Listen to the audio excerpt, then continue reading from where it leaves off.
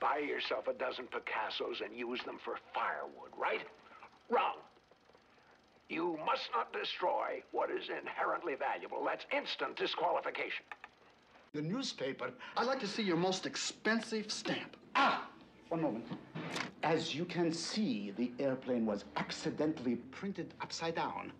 Of the 100 of these stamps originally printed, this is the only known copy in existence. Hackensack Bulls. Having a wonderful time. Wish you were here. Best wishes, Monty Brewster.